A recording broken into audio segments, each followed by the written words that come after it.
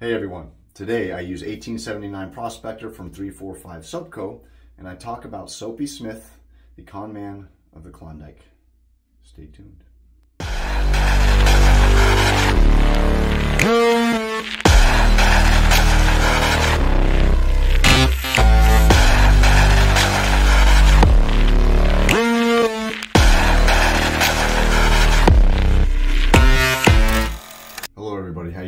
Bonham here, Cape Cod Wet Shaving, History Shave Time.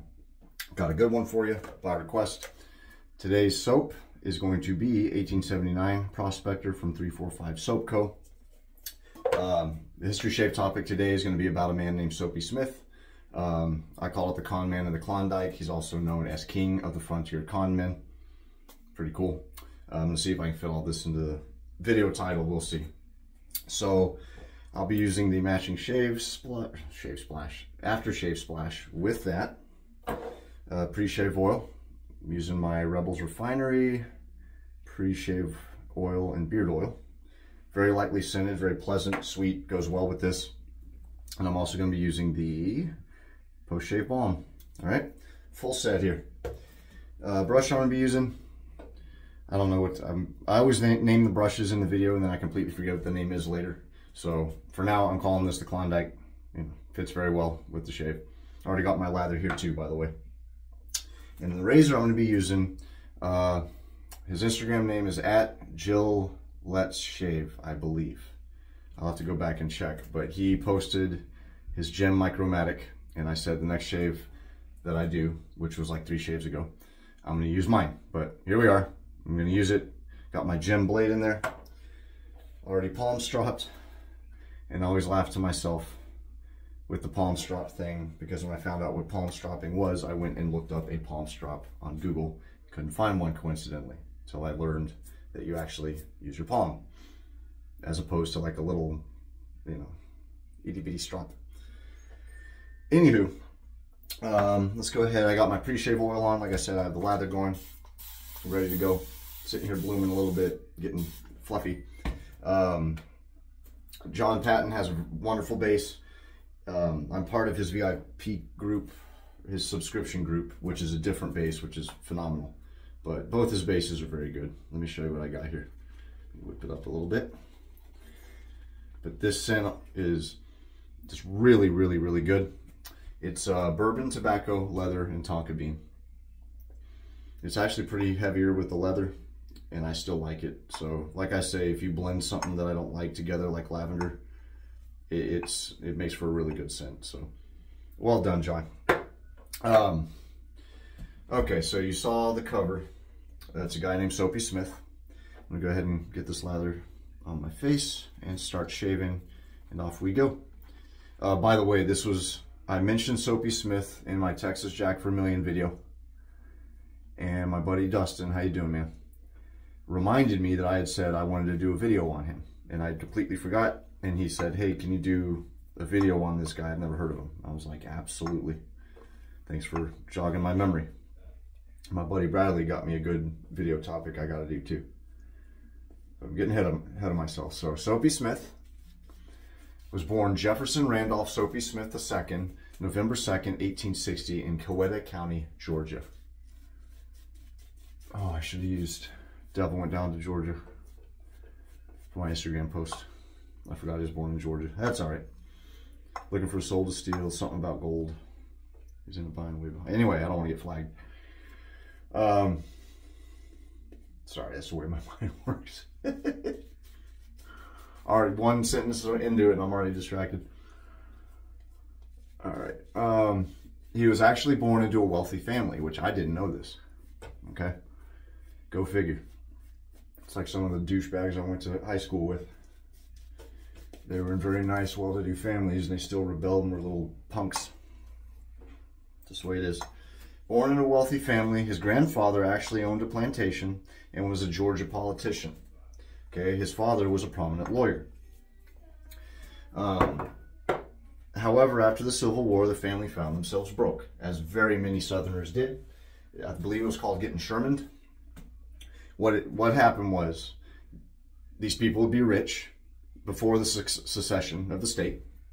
The state would secede, And then they were issued Confederate money for the Confederate states. And then, of course, the war's over. That money's barely used as fire starter. You know, worth the uh, worth being used as fire starter. So, in the immediate aftermath of the war, they were broke. It's the way it went for a lot of families, them included. So, um, family decided to move to Round Rock, Texas in 1876 for a new start. Okay. I don't know where Round Rock is. I looked it up, but I already forgot. Um, Texas is a big state. It was the biggest in the Union until Alaska. Go figure. Doesn't count. No offense, Alaska people. I'm just kidding. Um, it was in Round Rock at the age of 16 that Soapy began his lifelong career as a con artist. In this case, it was as a confidence man. This is about the fifth use of this blade, this gem blade. These blades last a long time. I'm gonna, I'm purposely pushing to see how far I can take this one. I've heard up to 10 uses, which in my case, it probably will because my beard's not especially overly thick. So a confidence man is a guy, they still exist today, by the way. If you see dominoes or betting on the street with, let's say, dominoes or the shell game, where, find the ball, that kind of thing. That's a confidence. It's a confidence man running it. So what a confidence man does is he gets he earns your trust, and he'll say, "Look, look at this guy. Oh, he found the ball. He just won twenty bucks." Then he'll do another guy. That guy won ten bucks. Now, what about you? You want to try? Of course. You know, you seeing people around you win and then boom, you lose. That's a confidence man. And the term shill, which we throw around like very many phrases, we throw around all too often. An actual shill was a person planted in the audience to win. Okay? Those are quotations, by the way. But that's what a confidence man was. So his mother died in 1877, and he decided to leave in 1878 after actually seeing the death of none other than Sam Bass in July of that year. Okay. My 13 year old.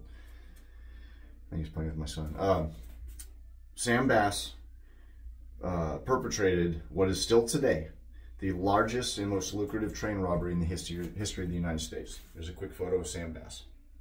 Well, photo, I say. That's a drawing, I believe, that was on the wanted poster. But he actually saw a shootout with lawmen of Sam Bass. Give me one second. All right. Reminded a certain someone that I'm like her. kids, whatever. I was just like, hey, dude. Remember when I told you about 15 minutes ago I'm doing a video? Well, coincidentally, I'm doing a video. Oh, sorry, Dad. Like, that's all right.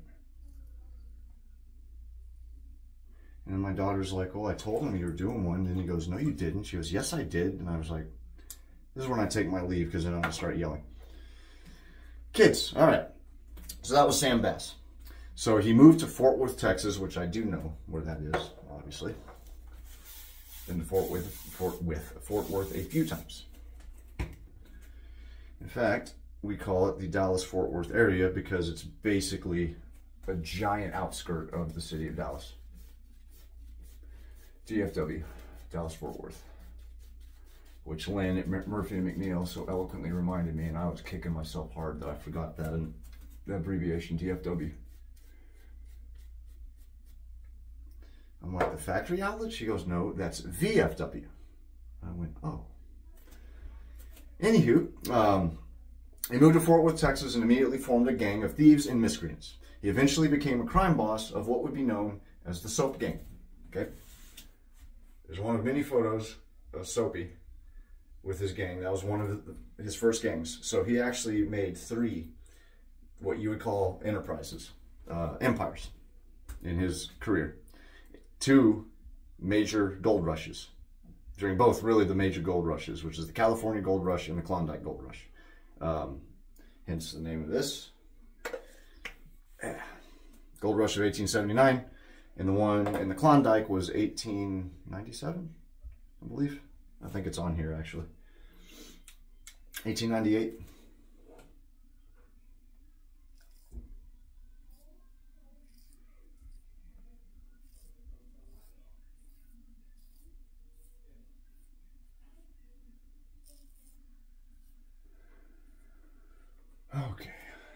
So, that's a good photo.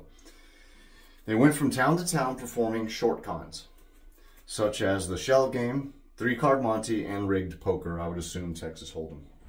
For those who don't know, there's five card draw, which is what you see with you know everyone sitting around with their cards. There's Texas Hold'em, which is actually my favorite version of poker, where everyone shares two cards on the table. So there's two two cards on or there's cards on the table that everyone shares, and it's just way different. Anyway, I'm, I'm getting I'm veering all over the road here in this video. Um, among the shills that assisted Smith were, lo and behold, Texas Jack Vermillion and a man named Big Ed Burns, Edward Burns. They called him Edward Big Ed. I'm assuming he was a big guy who would also later clash with none other than the Earps. Okay, they think that he was possibly involved with the murder of Morgan. So he was. He didn't happen to know the Cowboys. He was part of the the Earp stuff that happened later on. So it's so weird. Let me point out too that Texas Jack and Big Ed worked together Yet Big Ed would assist with attempting the downfalls of the Earps, while Texas Jack would go on and become a friend of the Earps. Isn't that weird? You could just, on a dime, switch. And remember, Texas Jack didn't know Wyatt Earp. He was a friend of Doc Holliday. And it was Holliday that suggested they get Texas Jack, and it was during the uh, Battle at Iron Springs that Wyatt Earp and Texas Jack got close, but we're not talking about Texas Jack. We're talking about this guy. All right, so Smith arrived in Denver, Colorado in 1879. It was here that he became famous for his prize soap con, which would become his signature. He would become known for this. Look at his name. And for earning his moniker Soapy. So he was arrested. And I didn't write the name of the officer down. His name was John he wrote Soapy in his logbook for who he arrested because he couldn't remember his name.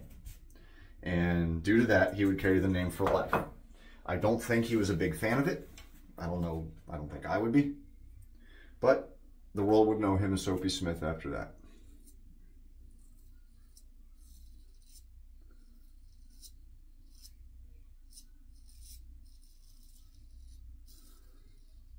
All right.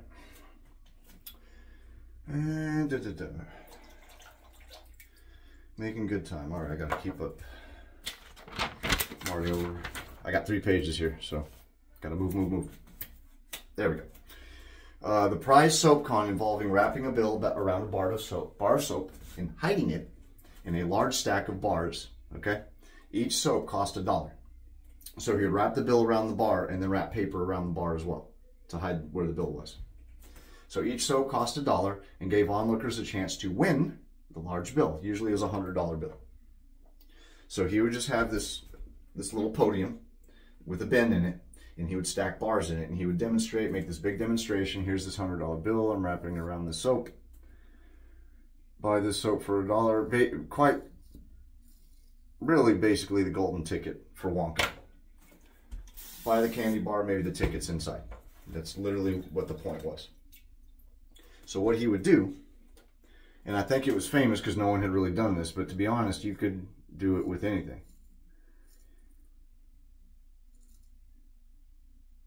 Chocolate, I think, was still considered a rich delicacy back then. So it wasn't readily available, if I remember correctly. I might be wrong. Because they're still bringing it up from South America, so it's still expensive. Um, you could do it, you know, with anything. You could do it with, you know, pouch of tobacco. You could do it with, you know, a sack of flour because flour was in canvas. You could, you know, something like that. You could cut it open, put it in, sew it back shut. Um, so what would happen was a shill would buy the winning bar. And after making a big show, oh my gosh, look, everybody, I won the 100. And it came out of that stack. And he would use sleight of hand and things like that to either keep it himself or the shill would get it. Uh, the frenzied crowd would then buy the rest of the soap. Lo and behold, no one else would win.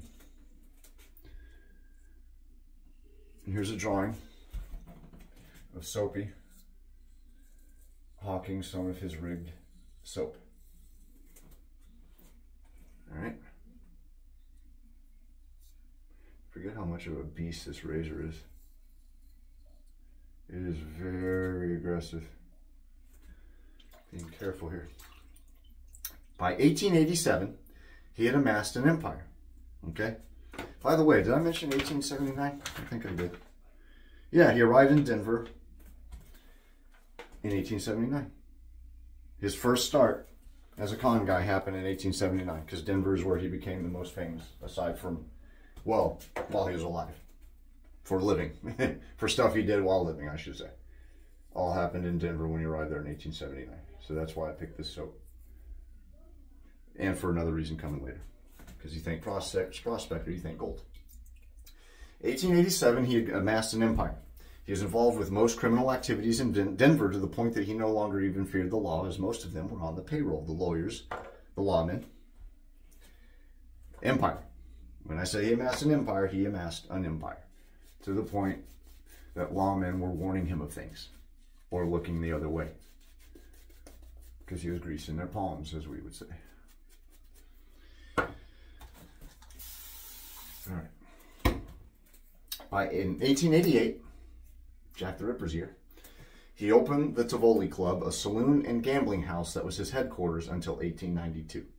Due to a crackdown on corruption that began in that year, he moved to Credo, Creede, Colorado, and immediately began a new empire. Okay, there's a before and after photo of the same building, and you can see right there where the Tivoli Club had been. The area is actually, considering it's been about 150 years, relatively unchanged. Isn't that pretty neat? There's a guy, and I should have put his credits, that took that photo.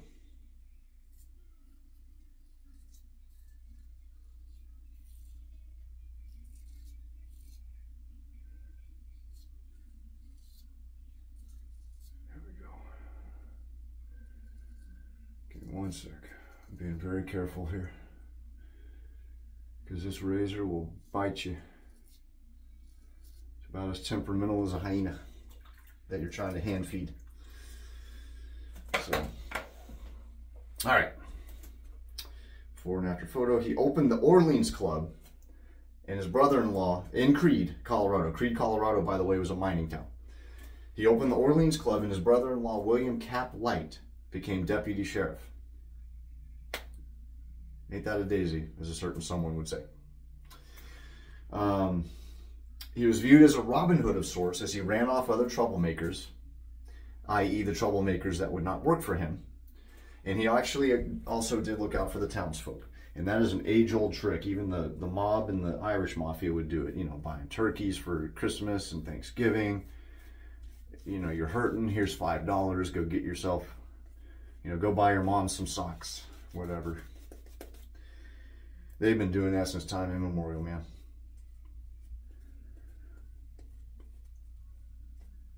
Even Al Capone, for a while, was looked at as a Robin Hood figure. Mr. St. Valentine's Day Massacre himself, people really loved him. Not the people that he hurt, but a lot of people looked at him and was like, yeah, we know he's a the illegal, you know, he did some bad things, but for the most part, he was looking out for us. Um, so, Smith returned to Denver. Okay, so what happened in Creede was since it was a mining town, the vein dried up, the mine dried up, the workers left, so the town just dwindled and went kaput. All right. He tried returning to Denver, but by then was too well known. And in 1897,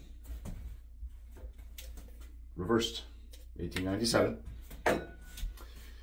This is why it's uh, in my post. I say 1879 and 1897 are two important years. This is why. In 1897, it was 97, the Klondike Gold Rush began, and Smith promptly moved to a town called Skagway, uh, Alaska. I almost said Arkansas. There's a wanted poster that was up in Denver, and you can see at the bottom there. Imagine showing back up, and you find a wanted poster yourself. Like, whoopsie daisy.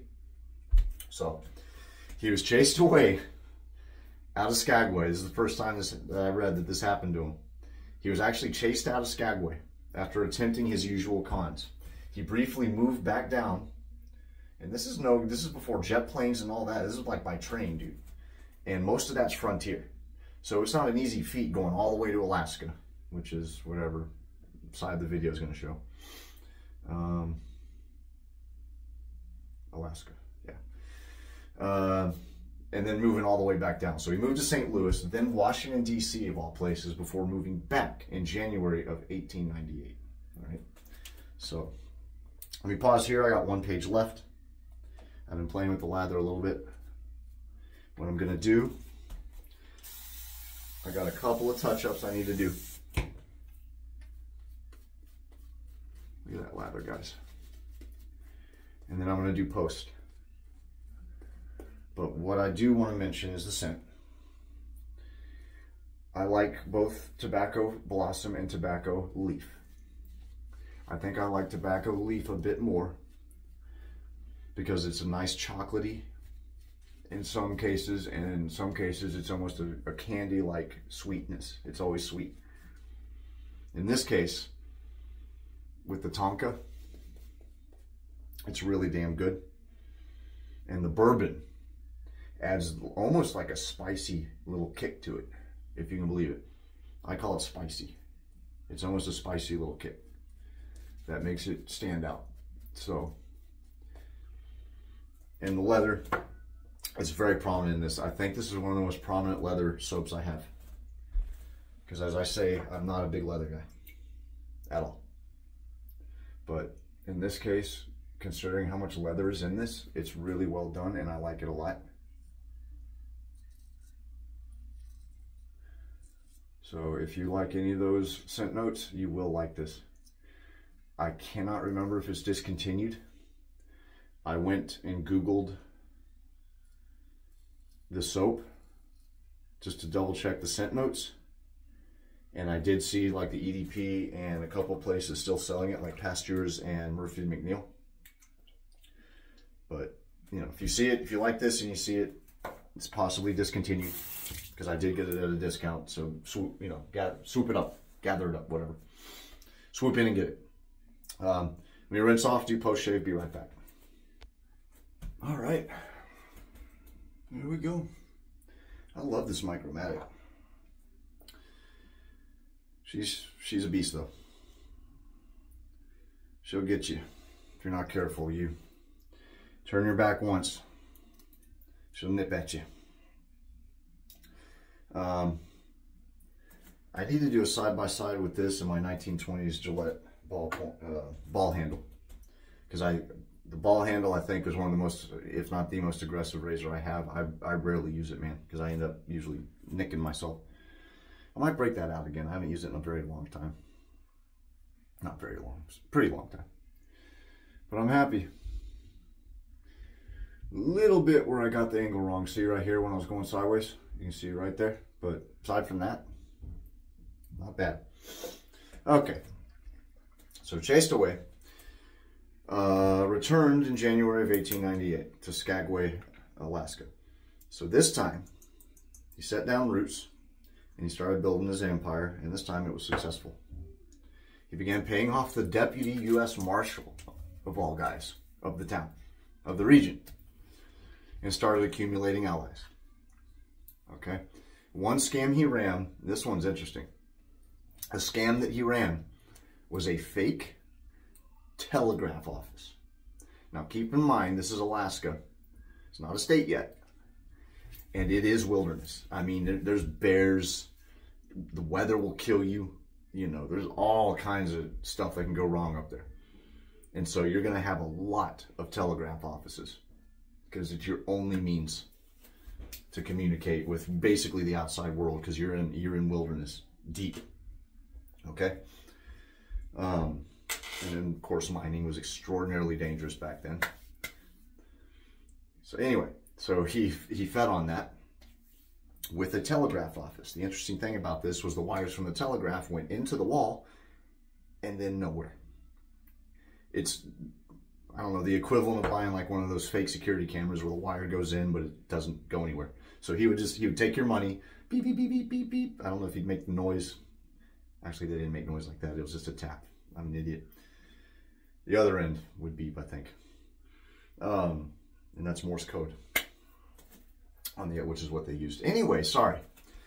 So the telegraph wire went nowhere. Okay. Uh, he charged customers for messages that were never sent.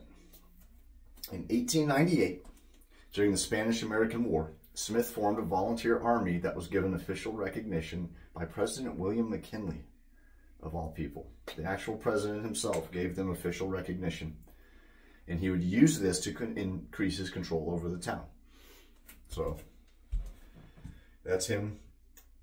Uh, I don't think that's an actual official photo of the army, the volunteer army group, but that is some of the men that would join it, if not all of them. But you can see the mountains in the back there. This was taken in Skagway.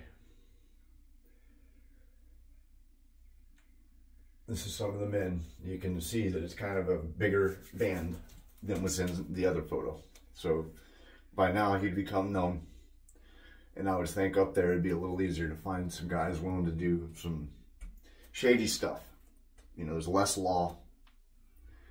Very much uh, anarchist paradise up there like I said, you had the deputy, you know, U.S. Marshal and all that, but um, I think if you were to call for backup, it'd be from the Mounties, not even us, our government. My son just woke up from his nap. Almost done anyways. All right. Um, on July 7th, 1898, a man named John Stewart came to Skagway with a mine sack of gold worth then $2,700 that is $98,900 in 2023, so about $99,000 today. On its way to 100 grand in gold. Again, prospector, all right? So, also, like everything fit in with the shave. That's why I use this gold razor too, along with the Jill Let Shaves guy. Uh, some of his gang convinced him to gamble his gold against a, a game of three card Monte. I don't know why the hell you would do that. I wouldn't have. I'd have been like, get out of my way. After some inevitable losses, Stewart refused to pay. The men grabbed the gold, the whole bag, and ran. Okay? Obviously, John Stewart had some issues with that. You know, started a huge outcry along with the townsfolk. The townsfolk went to Soapy Smith and said, hey, you should give that gold back to him. And Soapy said, no, we want it fair and square. No, you didn't. You won technically some of it. They stole it, but, you know, he decided to not pay up, so this is his not paying fee, is this whole sack of gold. God, smells good. So a meeting with Stewart was arranged on July 8th. It was to take place on the Juneau Wharf. So the Juneau Wharf, Juneau, Alaska, obviously, and uh, the only photo I could find, I was afraid of using. Um, not afraid of using. I just, it, you couldn't really tell it was grainy. Um, it was a drawing, but it was two long docks. And at the end of these long docks, it just opened up and there was like a boathouse on each one. But it was this very narrow dock. Like the only way to get, if there were people in your way, you'd have to like jump off and swim around them and that ain't gonna happen. So you need to know that. Um, after arriving, he was carrying a Winchester rifle over his shoulder. He wasn't supposed to come armed. It was supposed to be a peaceful meeting to basically sort this out. He got into an argument um, with one of the four guards. There were four men blocking his path to go down this narrow little dock. And he got into an argument with one of them. And there you go. The guard's name was Frank H. Reid. And he killed Smith instantly with a shot to the heart. He shot him about three or four times, but the got, one that got him was a shot directly to the heart. Reid himself would pass away 12 days later from two bullet wounds, one to the leg, one to the groin. All right, so they mortally wounded one another. There's a photo of Mr. Smith lying on his deathbed. All right. Um, I know it's kind of pushing the boundaries of whether I should say viewer discretion, but um, he looks like he's sleeping. I didn't think it was too violent. They had an autopsy photo of him. Not violent, but it was enough that it said under it his autopsy. And I was like, I'm not showing that. Nothing bad. It wasn't gruesome at all. But it just because it said, and then you look at it and you're like, oh. So, anyway. Um, Soapy Smith was buried some distance away from the Skagway Cemetery. And there's a photo of his grave. I would imagine that that was done on purpose. Like he's not being buried here with the rest of our people after feeding off of him. But there you go. All right. Oh, good stuff. I hope y'all enjoyed that one. That was a lot of fun. 30 minutes. I'm glad I lathered off camera. Um, if you see this, pick it up. It smells delightful. Uh, very good for autumn, which is right around the corner. So I'm probably gonna be breaking this out for that. I'm ready for a nice chilly crisp day. That'd be wonderful for that. Completely forgot about the coffee of the day too. Uh, coffee of the day was this company called Atomic Coffee Roasters. Interesting thing about this, I love how they break it down here. It's like a soap. Look at that cedar. This is beans. And I don't know if I get cedar. I'm looking for it. I'm probably getting it, I just don't know it. But it's a wonderful coffee. It says medium, but it's pretty heavily roasted in my opinion. Smoky. Mm. Really good stuff. But that will do it, everybody. I hope y'all like that one. Thank you again, Dustin. Really appreciate you reminding me about that. Requesting that for me. Um, till next time, I know it's been a long time. I would like to do another one in the near future. That is my plan. I just don't know when. Um, I have a busy week coming. My wife's busy. It's just, you know, the way it is. We got school coming up soon, too. So once the kids are back in school, it'll be a lot easier for me. I'll miss them, but it'll keep me distracted. Um, and that'll be it. Thank you, everyone. Really appreciate it. Thanks for watching, especially if you made it to the end. Really appreciate that. And that'll do it. All right. Be careful. Be safe. Take care of one another. Have a great rest of the summer, everyone. And uh, most of all, enjoy those shaves. Happy shaving. See you next time.